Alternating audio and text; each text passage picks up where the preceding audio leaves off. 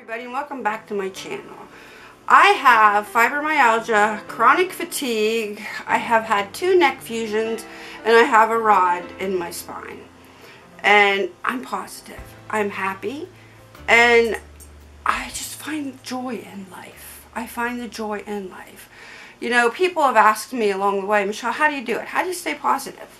After what you're going through and all the surgeries you've been, you're always happy. You're always positive. You're you're always just full of full of joy, and I am. Well, a couple years ago, oh, you know, I wasn't always like this. Uh, I can tell you that. In the very beginning, I'm like, what is going on with me? I would get bummed out because I'm hurting all the time. You know, just kind of a little depressed because it's like I can't get out of bed. But a few years ago, a friend of mine, a good friend of mine at the time, got cancer. And he, I was talking to him about it, and he said, you know, this is just a new way of life. And a light bulb went off in my head. And I'm like, a new way of life. That's the way I can look at my chronic fatigue, fibromyalgia, all that stuff that I have going on. And I'm like, this is a new way of life.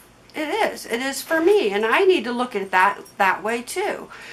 I'm not the person that I was, you know, 20 years ago where I could just get up and do and go and, you know, get up at 4 a.m. to go to work, to go to come home, to just, my house was clean.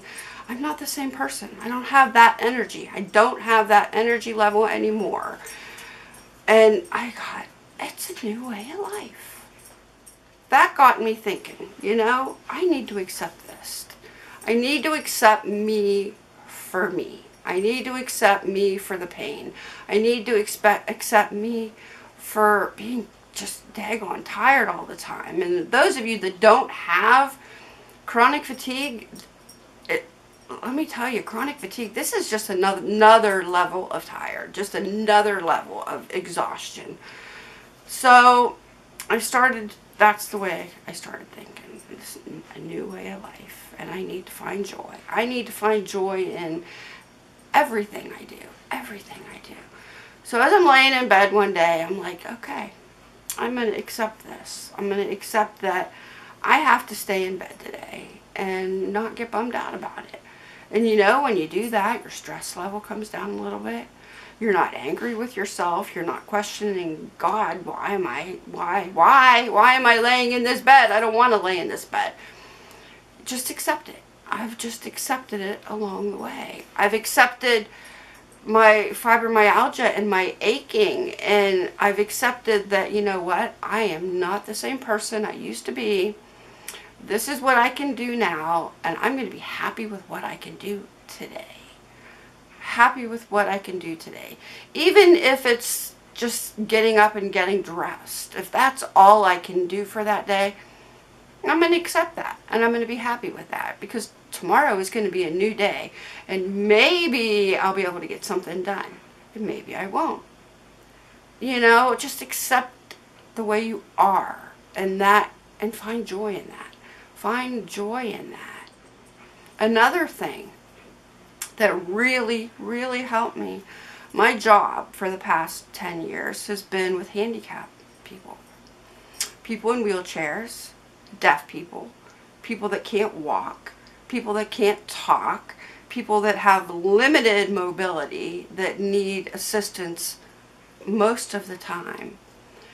And if you ask them, how are you doing today? They will say, today's a good day. Nothing going on today. It's beautiful outside. And it's like, you know, I need to start thinking that way. I need to start thinking that way. And I did. I thought, you know, as much as I hurt, they're hurting worse than me. There's always somebody else in the world hurting worse than you. But with my job, I got to see it. I got to see it. I'm not in a wheelchair. I don't need assistance all the time to walk. Sometimes I need assistance to walk, but not, not all the time. I'm healthy and I'm okay. And I'm going to accept this, what God has given me, and find joy in it. Find the peace in it. And that's what I've done. That's what I've done through the years. So I know, like this weekend, for instance, I was exhausted. Chronic fatigue, the weather is changing outside, and all of you know. Oh, there goes my dog. Macy, Macy, get down. Go lay down. Sorry about that. And all of you know that when, okay, we're not going to do this right now. No, there's my dog. And all of you know that when the weather changes, it, it's rainy one day, it's 60 degrees one day, it's 30 degrees one day. That's what we're going through in Ohio right now. And all of you know what that does to fibromyalgia and chronic fatigue. Well, guess what? I was exhausted. Exhausted. I got up Saturday morning and I edited a video and I tried to get dressed and I looked at my husband and said, I'm done. I can't do anymore. I just can't do anymore. I'm, I'm so, I have to go to bed. And he said, okay, go ahead. So I did. I went to bed and I slept all day. I slept all day Saturday. Wake up on and off, but I would fall asleep just back to sleep like this. And I'm like, what is going on? I slept all Saturday night.